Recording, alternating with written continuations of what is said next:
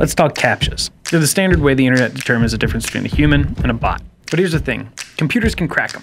Although it hasn't been easy until now, it took a massive database of all the different forms a CAPTCHA letter can take to train the algorithm to solve it like a human would. Now, AI researchers like Dileep George are trying to find a different approach. Rather than training for a particular task, we just train it on clean letters without distorting them.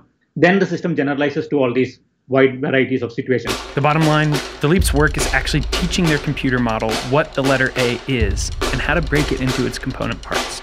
As humans, we're really good at this. Many other abilities come along with your ability to recognize. You can decompose a concept into its parts and relations, and you could also produce or generate a new instance of that concept. This matters because it isn't just about cracking CAPTCHAs. It's about a much larger effort to create artificial intelligence that uses the principles of a human brain. And it goes back to a famous quote by this guy. He said, The toughest challenge facing AI workers is to answer the question, what are the letters A and I?